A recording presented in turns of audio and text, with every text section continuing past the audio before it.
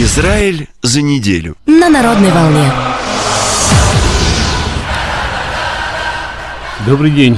Добрый день, уважаемые дамы и господа. Вы слушаете радио «Народная волна» на частоте 14.30 М, 99.1 FM, на нашем веб-сайте radionvc.com и на нашем YouTube-канале. Я смотрю, уже и местные израильские слушатели и зрители к нам подключаются. Традиционно о событиях в Израиле наш израильский корреспондент Ася Антова. Здравствуйте, Ася. Здравствуйте, Сергей, здравствуйте, радиослушатели. Ну, как всегда, сначала новости о э, э, эпидемии, о, о эпидемии COVID-19. Э, в Израиле э, относительно, э, относительно хорошие новости. Э, все э, после разрешения, после восстановления работы э, детских садов, школ, после э, частичного снятия карантина, э, э, очень боялись, что пойдет вторая волна коронавируса. Но пока этого не произошло. Конечно, увеличилось, э, увеличилось опять количество выявленных э, вирусоносителей. Возможно, это просто за счет проверок, возможно, из-за того, что э, люди контактируют друг с другом. Но, тем не менее, как говорят специалисты, мы еще очень-очень далеки от верхней пропускной способности больниц. У нас еще очень большой резерв. И э, говорится пока о том, что э, не будут дальше снимать э, карантинные меры, но и не будут их ужесточать. Второй волны нет, но граждан призывают сохранять бдительность, э, находиться на расстоянии двух метров друг от друга, в общественном пространстве носить маски. Но, э, тем не менее, относительно у нас э, совсем, неплохая, совсем неплохая ситуация. Э, Иерусалимский университет срочно пытается выработать выработать тесты на, на то, что э, есть ли у человека иммунитет к коронавирусу. Пока что в Израиле, и насколько я знаю, вообще в мире таких, э, таких тестов нету. Что человек, скажем, уже переболел, и у него выработался иммунитет, и на, на базе этого э, пытаются найти э, какое-то средство вакцинации. Э, в общем, утверждается, что Израиль уже очень близко к этому. Э, с другой стороны, э, по поводу лекарств говорят, лекарств или вакцин говорят что о том, что их надо долго-долго тестировать, чтобы проверить, что не будет вреда. И поэтому даже если их откроют скоро, то применение их все-таки потребует ожидания в несколько месяцев пытались провести, пытались провести закон о том, чтобы э, наши спецслужбы имели право следить за э, носителями вируса, людьми больными или просто носителями вируса, следить за тем, где они находятся, проверять, действительно ли они находятся в предписанном карантине, но этот закон не прошел, потому что э, люди справедливо опасаются, что эпидемия кончится, а вот такая вот слежка, причем слежка при помощи электронных приборов, при помощи мобильных телефонов, э, вот такая вот слежка узаконенная, она может остаться, поэтому этот закон пока что отложили э, и сказали, что ну, если возникнет критическая ситуация, если действительно пойдет там какая-то очень большая вторая волна, возможно, но пока что все-таки свобода важнее, и без ограничения свободы нам удаю, э, свободы основных прав человека нам удается справиться с эпидемией. Ну и э, пока, вот чтобы не было опять э, аварийных ситуаций, ввели, э, ввели в строй фабрику э, по производству масок. Это сделали в городе Сдерот, город, который относительно недалеко от сектора газа, страдает от обстрелов, страдает от безработицы, очень много от чего страдает. И вот, по крайней мере, вот такие получаются дополнительные рабочие места. Это раз. А во-вторых, конечно, что Израиль не будет больше зависеть от поставок масок. Я вам говорила о том, что в начале эпидемии Э, вот такими необходимыми вещами, как поставка масок и других защитных средств, занялся, э, занялись непосредственно наши спецслужбы, а именно Шабак, и через свои каналы добывали вот это вот необходимое оборудование, вплоть до э, вывозя их из стран залива, не вполне к нам дружественных. Э, но, тем не менее, э, Шабаку это удалось, и я вам уже рассказывала, что теперь все эти функции переложены на Минздрав, теперь, так сказать, налажена поставка из-за границы, но на всякий случай э, есть и собственная фабрика, и теперь мы больше не будем настолько зависимы от импорта. Э, с другой стороны, э, по-прежнему, в общем, э, экономика не восстановилась еще, хотя уже поданы данные, что 263 тысячи людей уволенных или находящихся временно в увольнении во время локдауна, сейчас они опять вышли на работу, но тем не менее говорят, что за первый квартал года в экономике есть 7% Э, минус 7%, то есть 7%, 7% э, не роста, а наоборот упадка. Но э, прогнозы, опять же, прогнозы утешительные, прогнозы, что экономика достаточно, сможет достаточно быстро восстановиться.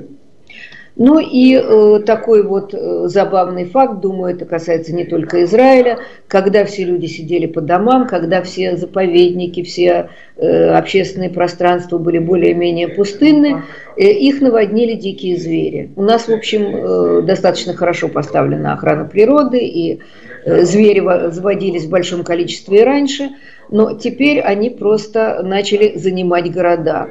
Э, были шествия там диких кабанов по центру города Хайфы, э, по, приморской, э, по приморским пляжам бегали олени свободно.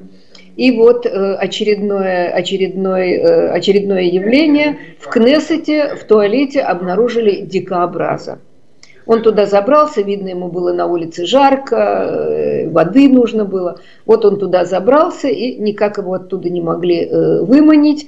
Э, позвонили в, в Институт охраны природы, который занимается дикими животными, там э, э, депутатам и обслуживающему персоналу сказали, оставьте дикобраза в покое, Кнессет не такое место, где он захочет долго находиться.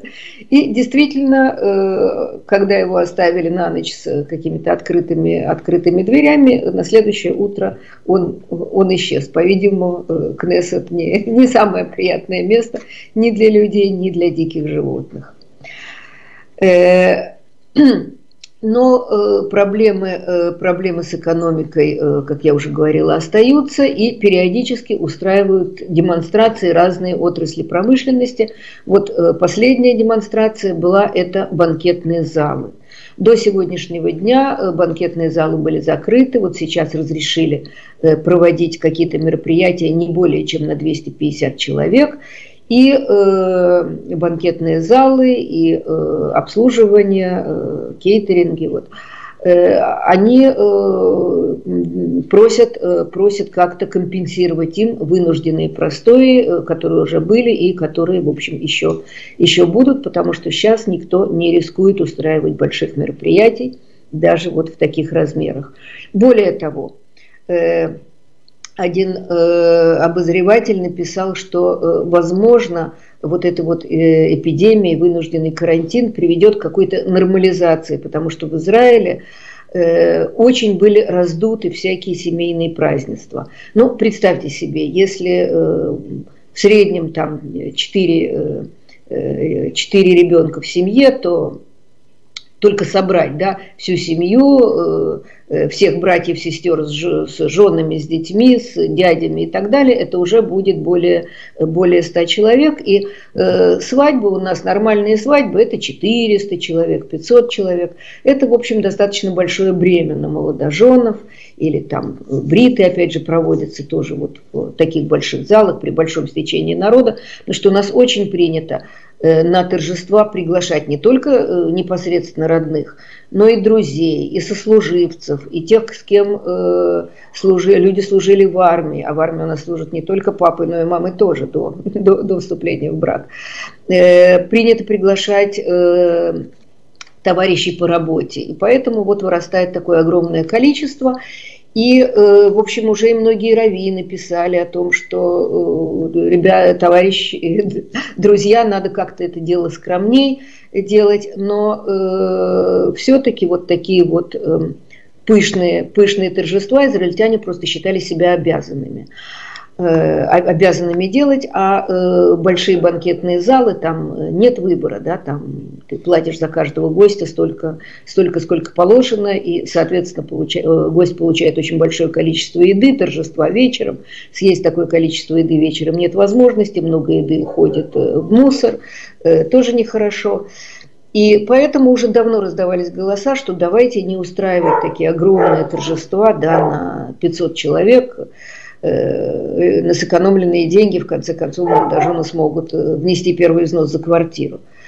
Э, и вот говорят, что, может быть, сейчас за эти месяцы, когда торжеств не было, может быть, мы все-таки немного привыкнем как-то к более, к более скромному отмечанию свадеб, бармиц, Э, бритмила.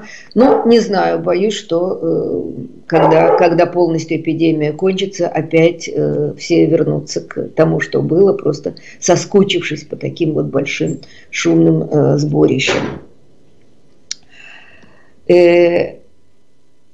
Ну, пожалуй, про коронавирус все. Не хотите ли, э, Сергей, объявить о э, ваш телефон и э, возможность задавать вопросы? Конечно. Телефон в студии по-прежнему 847-400-5200. Если будут вопросы, пожалуйста, звоните, задавайте, интересуйтесь, и Ася постарается ответить на ваш вопрос. Ну а пока опасность происходит не только от э, вируса, но, э, к несчастью, и, э, иногда и от э, людей. Э, у нас было предвращ, предотвращено э, парочку терактов тут за истекшую неделю. К счастью, э, так сказать, никто, не, никто из законопослушных граждан не пострадал. Но вот э, по поводу... Э, Ася, по давайте поводу... попробуем принять звонок, а потом Давай. вернемся к теме. Добрый день, пожалуйста, в эфире. Асенька, скажите, какая обстановка насчет Натаньягу? Как что там происходит в сегодняшний день? Э, в общем, э, то же самое, что и раньше. Э, Натаньягу подал уже третью жалобу на угрозы в его адрес и в адрес его семьи. И действительно, один человек был арестован, человек, который просто написал в Фейсбуке, Э, что Нетаньягу надо убить, там всю его семью надо уничтожить. Ну, совершенно ужасные угрозы. Э, не говорится, кто это, говорится житель севера страны, а обычно, когда не говорят кто, то, как правило, это всегда представители нашего угнетенного в кавычках нацменьшинства. Вот, э, но вот один, один такой человек был, уничтож... был арестован, его допрашивают, не знаю, присудит ли ему какой-то срок. Э, или наша добрая полиция его и так отпустит, э, но Нетаньягу подал уже третью жалобу, потому что действительно все время угрозы в его адрес и в адрес его семьи не перестают полоскать имя его жены Сары, его сына.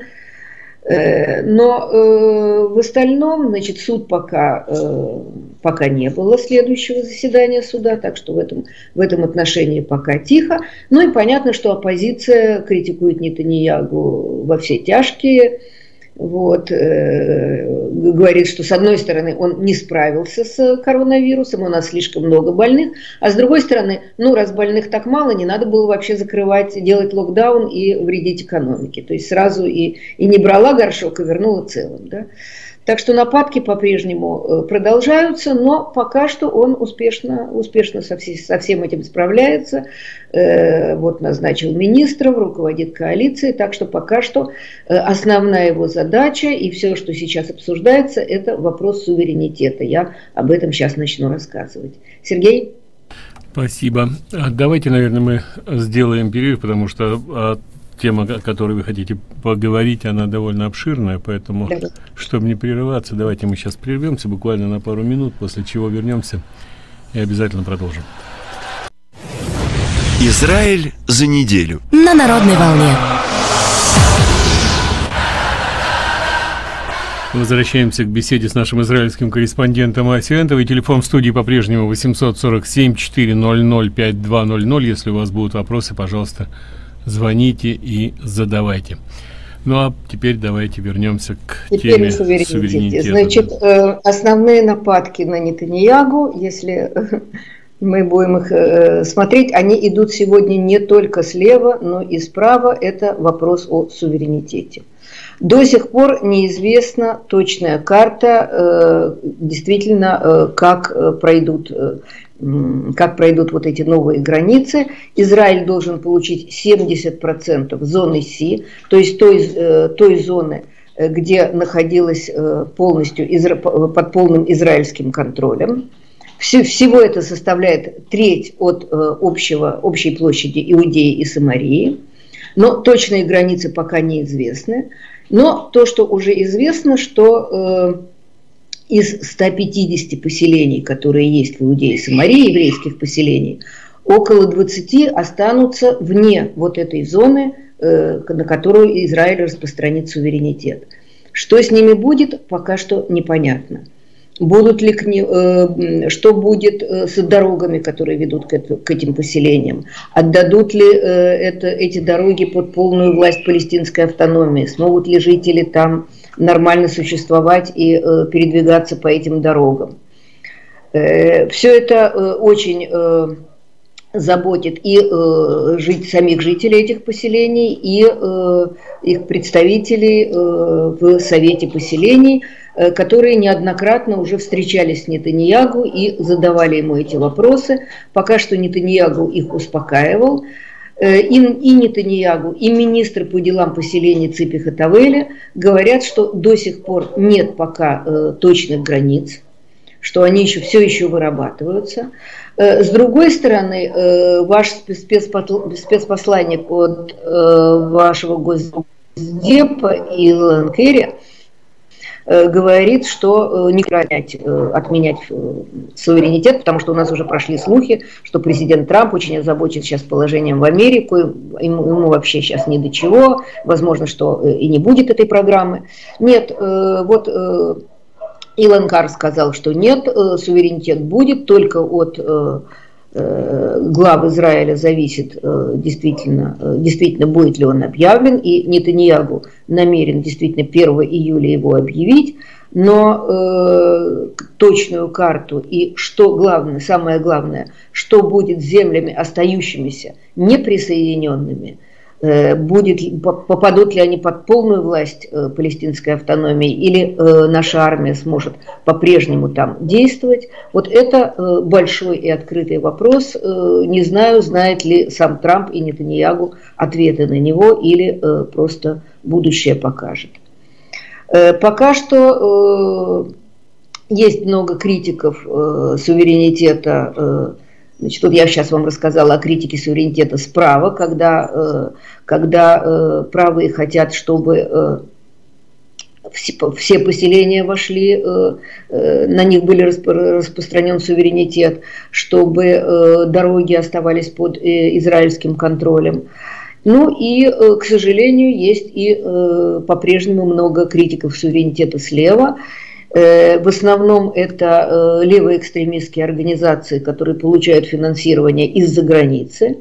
И в, э, вечером в, после субботы они устроили большую демонстрацию на площади Рабина, причем такую демонстрацию, что журналисты, даже левые журналисты говорили, что самому Рабину, наверное, было бы стыдно потому что на этой демонстрации не было ни одного израильского флага, все флаги, которые развивались, были флаги палестинской автономии. Э, в конце демонстрации э, спели гимн палестинской автономии, э, значит, гимн, который начинается словами «Моя земля», что по-арабски будет «Биляди».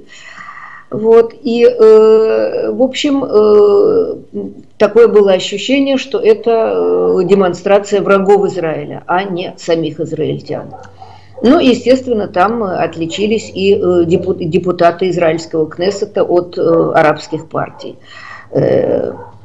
Демонстрация была отнюдь, отнюдь не мирная, они пытались там перегородить движение, э, полиции пришлось арестовывать людей, которые перегораживали движение. В общем, э, такая вот была э, бурная демонстрация.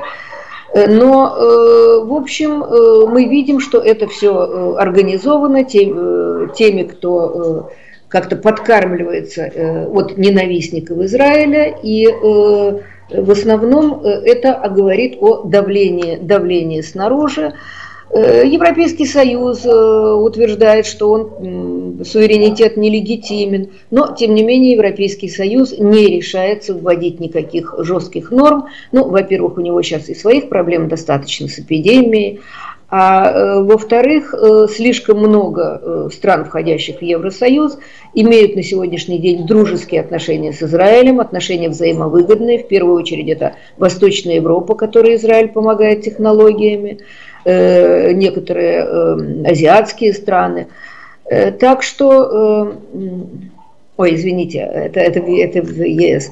В общем, не, Европейский Союз сегодня не хочет, не, вернее, не может, даже если бы хотел, не может провести жесткой а, антиизраильской резолюции по поводу распространения суверенитета. У вас в Америке тоже достаточно достаточно леваков заявляют, что э, суверенитет незаконен. Например, э, ваш Бенни Сандерс, который, э, насколько я знаю, будет претендовать на лидерство, говорит, что это незаконное распространение суверенитета и всячески против него возражает. К сожалению, к сожалению, многие левые американские евреи вот так вот выступают, они готовы защищать кого угодно, э, защищать э, чернокожих, э, защищать там нелегальных иммигрантов, только не Израиль, только не евреев. Увы, нам давно, давно известна эта болезнь, автоантисемитизм, когда сами евреи стесняются того, что они евреи, и готовы поддерживать кого угодно, только не евреев и не Израиль. Но в общем, 1 э, июля приближается, и э, большинство, большинство населения Израиля э, достаточно, достаточно оптимистично смотрит на это по поводу, по поводу Иорданской долины и вот области Иерусалима, западной части Иудеи и Самарии. В израильском обществе есть консенсус. Это, эти, это места, где очень мало арабов и очень много евреев. Э, эти места жизненно важны для э, безопасности, для э, источников пресной воды. И, в общем, подавляющее большинство Израиля поддерживает, поддерживает вот эту программу. И, в общем, все очень надеются, что Нетаньягу ее сможет провести. Сергей, появились ли вопросы? 847-400-5200, телефон нашей студии. Если у вас будут вопросы Кате, пожалуйста, звоните, задавайте, я сразу дам, дам вам знать. А... Ну, а теперь о вашей жгучей проблеме, о ваших, э, о ваших таких э, э, погромах, да, инспирированных различными леваками. Казалось бы, да, где, где Америка, где Израиль, но сегодня глобальная деревня, сегодня все очень связано. И э, у нас тут произошла, прошла очень небольшая демонстрация перед американским посольством, тоже там что-то против расизма, но тоже это явно было э, проведено какими-то интересантами, хорошо, хорошо оплачиваемыми. Но у нас тут э, прошла, э, прошла, в общем, в чем-то похожая история. Несколько месяцев назад э, полиция, э, полицейский, который не находился на службе, а э, просто гулял с семьей, он подвергся атаке эфиопов. И когда он застрелял в землю, то пуля э, э, рикошетила и э, убила, убила главного нападавшего хулигана. И у нас тоже были очень большие, очень большие демонстрации. Значит, все, все, все извинялись перед эфиопами. Ну, слава богу, вроде бы это прошло. Но теперь опять была похожая ситуация, когда араб, аутист, который непонятно каким образом попал один на улицу, Э, в, в Иерусалиме. Э, в Иерусалиме обстановка достаточно напряженная, там э, много арабов, много попыток терактов. Естественно, он вел себя неадекватно. Ну, потом объясняли, что он вообще боится всех людей в форме, особенно, особенно военных. Вот, он как-то начал очень, при, при, виде, при виде патрулирующих солдат, он начал себя как-то очень неадекватно вести, у него что-то было в руках, Э, в общем, очень он был похож на террориста, и э, его э, застрелили при задержании, поскольку он убегал, отбивался. Но, но так сказать, араб, место, где все время проходят теракты. Значит, потом утверждалось, что он ни в чем не виноват, просто он аутист, просто он так себя всегда ведет. Непонятно, значит, как, каким образом он вышел без сопровождения, потому что он абсолютно неадекватен. Но, э, как я вам уже говорила, э, э, Арабские террористы очень любят в качестве вот пешек, которых они посылают на теракты самоубийства, использовать разных неблагополучных, э, неблагополучных людей, которым жизнь недорога и у которых э, есть какие-то проблемы, от которых семья хочет избавиться. Иногда это бывают э, забеременевшие незамужние женщины, да, так сказать, урон чести, и иначе семье самой пришлось бы ее ликвидировать, да, а так ее посылают на теракты, она еще будет героиней. Иногда это какие-то смертельно больные люди, да, а так э, семья избавляется от этого человека, не нужно за ним ухаживать, а с другой стороны получает от террористических организаций, получает большое вознаграждение. Значит, здесь... Э, было большое подозрение, что э, террористы таким образом как-то проверяли готовность, готовность э, израильской полиции и израильской армии э, вот на такие неадекватные действия. Вот сегодня, э, так сказать, оказ, оказалось, что этот, этот человек был просто э, инвалидом, да, а в следующий раз э, полиция побоится или армия побоится стрелять в инвалида, а вот на нем уже будет поезд взрывчатки.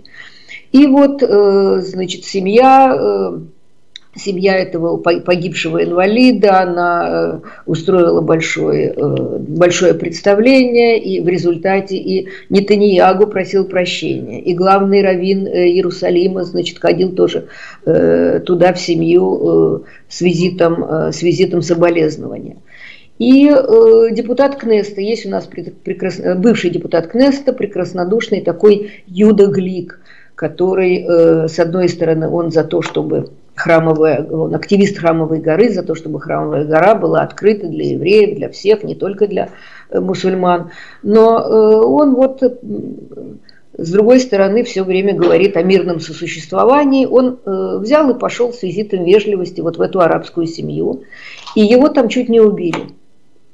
Вот, еврей явился в, в арабскую семью после, такого, значит, после такой ликвидации, его там чуть не убили, он опять же спасся чудом. Напомню просто, что некоторое время назад на Храмовой горе Иуду Глика стреляли, и он был очень тяжело ранен, чудом выкарабкался. Вот, э, и он э, поднялся на Храмовую гору сейчас, поблагодарил Всевышнего за еще одно спасение от смерти – вот, ну, в общем, это человек рисковый, который ходит по краю, но, по крайней мере, он, так сказать, шел э, с визитом извиняться сам, не, э, никого не заставлял и, э, так сказать, сам и получил за это. А э, те, которые объявляют, что все остальные должны, должны извиняться и все остальные должны страдать, вот, э, это, это совсем, совсем другой вопрос. Ну и давайте немножко о внешней политике, мы ее совсем забросили. Ася, давайте, мы, давайте мы прервемся, сделаем небольшой перерыв, давайте а после этого перерыв. начнем и поговорим о внешней политике Израиля. Никуда не уходите. Израиль за неделю. На народной волне. Возвращаемся к беседе с нашим израильским корреспондентом Асиантовой. Телефон в студии по-прежнему 847 400 5200. О, о внешней политике вы хотели поговорить. Да, э, я уже говорила несколько, э, несколько раз о том, что Иран пытается закрепиться в Сирии, пытается э, подобраться ближе к Израилю, передать, передать оружие различным террористическим организациям. И Израиль всегда очень четко реагировал на такую угрозу. И вот вчера Э, была разбом, разбомблен штаб иранской милиции в Сирии рядом с городом Дир-аз-Зубр. Э, кто это сделал, неизвестно. Вот прилетели самолеты, нанесли 8 ударов, и э, от штаба ничего не осталось. Но кто это сделал, неизвестно. Так сказать, мы с вами можем только гадать об этом. И три дня назад, 4 июня, уже около другого города, около Мальяфа, тоже был разбомблен э, сирийский объект, и э, там э, тоже около десятка убитых. И тоже неизвестно, кто это сделал, но мы в Израиле зато сможем спать спокойнее. А еще про Сирию. Появилась вот такая новость, что есть э, организация еврейского культурного наследия, которая проверяет состояние каких-то важных для еврейской истории объектов в разных странах. И вот они смогли как-то добраться до Сирии и э, посмотрели вообще, что там э, происходит с еврейским культурным наследием. Понятно, что при такой непрерывной войне там с любым культурным наследием ничего хорошего не происходит. Но э, вот представители этой организации должны были, э, должны были констатировать, что, в общем, очень многие памятники еврейского культурного наследия, а, а напомню, что э, э, некоторые памятники э, насчитывают две с половиной тысячи лет. Евреи там э, находились еще э, со времен царства Соломона. Э, так вот, от них, к сожалению, ничего не осталось. Э, более новые какие-то памятники, это синагоги, в Сирии были очень богатые евреи, очень красивые богатые синагоги, где-то 18-19 век. Тоже, к сожалению, большинство из них, э, если не сровнено вообще с землей, то э, разграблено, уничтожено. В общем, плохо, плохо дело обстоит с еврейским, с еврейским наследием, но тут сделать пока в этой области ничего невозможно. Ну и э, еще о, э, о, если мы уже заговорили о врагах Израиля, э, э Хамас. Э, Все время поднимается вопрос о обменной сделке с организацией, с террористической организацией Хамас, о том, чтобы получить у нее тела наших солдат погибших, а в обмен на это Хамас требует живых террористов, освободить из израильских тюрем и передать им. Э, в связи с этим э, еврейская организация «Лави» э, хотела просто получить статистику. Статистику, сколько террористов, освобожденных после вот такой предыдущей большой сделки, сделки Шалита, когда были сотни террористов освобождена, сколько из них вернулись обратно к террористической деятельности. Но управление и были пойманы на этом и помещены в израильскую тюрьму. Они обратились в управление тюрем. Управление тюрем сказало, что оно охраняет личную жизнь террористов, и поэтому такой информации э, оно не предоставит. Вот такие у нас, понимаете, охрана прав человека. Вот так вот она у нас действует. Давайте попробуем принять ну, звонок. И, да, давайте примем звонок. Хорошо. Добрый день, пожалуйста, в эфире. Здравствуйте. Значит, Анна, я хотел спросить вас, почему Израиль дает Саудовской Аравии участие, э, участвовать в, в этой Алексе, в этой э, вакхе? Почему они обязательно должны туда, там присутствовать? Без них нельзя как-то обойтись? Я, я, я не понял, где участвовать, в чем? Не расслышала. Ну, в этой э, в Аль-Аксе, э, с наблюдением за Аль-Аксой. А, да, да, да, да, а, да, да, да, на Храмовой горе, да, я поняла. Я рассказывала в прошлой передаче, что э, тут пытаются при помощи э, Саудовской Аравии вытеснить других интересантов, что туда пытается вклиниться э, э, Турция, которая дает э, много денег на финансирование мусульманских движений и э, так, так называемой защите мусульманских ценностей. Э, вмешательство Турции э, совсем не нравится э, палестинской автономии. Туда палестинская автономия включила туда иорданского короля, да, чтобы ее претензии выглядели более солидно. Она включила в опекуны храмовой горы иорданского короля. Вот. И э, не знаю, возможно, здесь Израиль хочет, э, так сказать, включить э, несколько э, акторов – Э, потому что если только Иордания, то, э, так сказать, иорданский король может что-то диктовать, а так, если тут будут вовлечены главы нескольких мусульманских стран, то тут всегда можно будет играть на противоречиях между ними. Э, ну, в общем, более, более точных сведений я не могу представить. Как вы понимаете, мне это совсем не нравится. Не то, что э, храмовая гора под, э, находится во владении Вакфа, Э, в котором заседают арабы, не то, что там э, теперь будут заседать еще и э, главы иностранных государств. Давайте ну, попробуем. Ну, это та ситуация, что есть. Давайте следующий вопрос. Да, пожалуйста. Здравствуйте, у меня, Катя, вопрос. Для того, чтобы поменять трупы на трупы, надо этих террористов сначала в трупы превратить, а потом менять. Как вы к этому относитесь? Интересная идея. Интересная идея но э, боюсь, что э, сегодня э, сегодня еще э, Израиль не готов к такому, хотя формально у нас есть э, возможность присудить террориста к смертной казни, потому что в Израиле есть э, одно, одно преступление, наказываемое смертной казнью, это угроза жизни всему, евре... угроза всему еврейскому народу, да? действие против всего еврейского народа. Поскольку террористы убивают э, не просто конкретного Рабиновича или, или Хаймовича, а убивают любого, кто кажется им евреем или как-то связан с евреем, даже если он вообще иностранный турист и никакой ни еврей ни, ни близко не был. Вот. Так вот, э, вполне, их преступление вполне подходит под, э, под статью, дающую смертную казнь. Но на сегодняшний день эта статья принималась ровно один раз – по поводу нацистского преступника Эйхмана. К арабским террористам ее пока ни разу не применяли, хотя э, многие общественные деятели, депутаты Кнессета призывают к тому, чтобы как-то оживить вот эту вот статью э, угол, Израильского уголовного кодекса и применить ее к террористам. Сергей? 847-400-5200, телефон нашей студии. Напомним, что мы беседуем с израильским корреспондентом Асиентова. Если у вас будут вопросы, пожалуйста, звоните. А вот еще одно интересное сообщение, это уже о наших проблемах.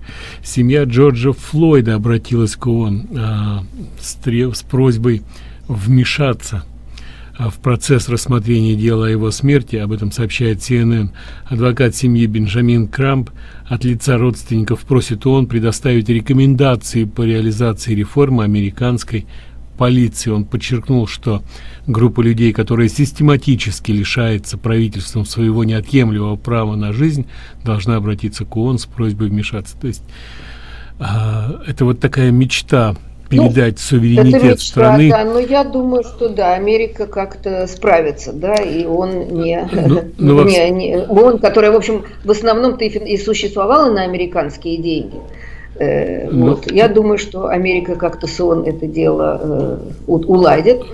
Вот. Но э, то, что действительно вот, э, для нас существенно, для израильтян, что э, большая часть э, организаторов – вот этих вот э, массовых погромов, это были э, леваки-экстремисты, которые одновременно с этим призывают и к бойкоту Израиля. И там входила э, бывшая вот организация «Мусульманские братья», которая была настроена очень антисемитски и устраивала антиеврейские погромы. То есть вот эти вот организаторы вот этих массовых погромов, они э, известны тем, что в первую очередь они призывали громить евреев. И э, сейчас... Э, многие евреи жалуются, что там э, разгромлены, разгромлены не только их магазины, как и все магазины, но и специально разгромлены, разгромлены синагоги, что, в общем, чего таких вот э, антисемитских выходов, в общем, давно, давно не было. Так что мы здесь в Израиле никак не симпатизируем Э, этим вашим, э, э, которые называют себя борцами с расизмом. У нас большие сомнения по поводу этих борцов с расизмом. И буквально сегодня я нашла, нашла цитату из Айн Рэнд. Айн Рэнд – автор, который, которого очень любили в свое время в Америке, которая выступала за свободу в первую очередь за свободу предпринимательства, за права человека, права э, индивидуума. Вот. И она говорила при том, что э, так сказать, если вы боретесь с расизмом, то нужно э, сделать так, чтобы все были равными. Не то, чтобы кому-то оказывалось предпочтение, чтобы вводились квоты, чтобы говорилось, там, пусть у вас будет не меньше там, такого-то процента афроамериканцев, а чтобы, чтобы действительно все люди были равны, и чтобы индивиду, все индивиды получали равные права. То есть там э, цитата абсолютно подходящая и для сегодняшней ситуации в Америке. Если бы они действительно, если бы действительно существовал институционный расизм, и если бы демократы об этом хоть как-то беспокоились, заботились, это бы их тревожило, на протяжении восьми лет в Белом доме сидел Барак Хусейнович Обама и Джо Слипи Байден. И теперь Джо Байден обещает в одночасье исправить всю ситуацию. Только выберите меня, и всю ситуацию исправлю. Эти придурки, а, этот кокос демократический сегодня, а, там и э, Шумер, и Пелоси, и Кам, Кам, Камала Хэрис, и остальные э, коммуняки перед началом там в Капитолии встали на колени, демонстрируют. То есть Это только слепому или идиоту, или дебилу, или подонку непонятно, что все, что происходит в этой стране в последний год, все направлено на одну единственную цель – это захват власти. Только идиот может этого Знаете, не понимать. Захват власти и э, денежные, очень большие денежные интересы. Так, например, одна э, большая американская хай-тековская компания, не буду вам сейчас называть ее имя, Э, она сказала, что вообще-то наша внутренняя политика – это не вмешиваться в, э, не поднимать никакие политические вопросы э, во внутренних, но здесь мы не можем, мы не можем молчать, мы должны выделить из прибыли компании довольно большую сумму, чтобы поддержать борьбу с расизмом, потому что борьба с расизмом касается нас всех. То есть, понимаете, здесь э, такие суммы сейчас будут отстегиваться вот этим левацким организациям на борьбу с расизмом, а на самом деле вот читайте исследования э, американо-израильского журналиста Кэролин Глик, э, которая э, написала, что, собственно, вот эти вот вот эти погромы инспирированы левацкой организа... левацкими организациями и тем и политикой, политикой Барака Обамы, который э, вот увековечил вот эту вот проблему, потому что на самом деле от э, такого вот э, даже даже а, так сказать исправляющей дискриминации все равно страдает именно э, именно э, афроамериканское население. Их не могут держать за равных, и хотели бы держать за равных, но если э, если их жизни важнее, да, их жизни важны, а других не важны, то их они уже получаются неравные. Вот. Давайте, и, у нас это, есть в общем, мин... очень большая проблема. И здесь, конечно, деньги, когда э, государство государство слишком сильно вмешивается в экономическую жизнь, то разные социальные слои начинают бороться за государственные деньги. И поэтому им важно очень выставить себя обиженным. Я обиженный, меня обижают, поэтому государство мне должно государство или там добровольные э, эти самые организации мне должны. Ну, по сумме, которую собрали семье вот этого вот убитого бандита, вы видите, какие там большие, большие денежные интересы замешаны. Ася, огромное спасибо. А, к сожалению... Ну, под конец, да, ровно, ровно одна минута. Э, очередная археологическая находка. Бог Луны, ханаанский бог Луны, найден в, э, на раскопках э, э, старинного ханаанского города Гишур. Э, который э, соседствовал с э, с империей царя Соломона, это на севере Израиля, в районе реки Иордан, верховьев реки Иордан, нашли, археологи нашли бога Луны, причем он был очень хорошо спрятан, по-видимому, перед тем, как евреи завоевали этот город, жители спрятали свои самые дорогие предметы, в частности, вот, вот этого вот идола, которому они поклонялись. Спасибо огромное и до следующей встречи. Много, много находок. Спасибо, до следующей встречи.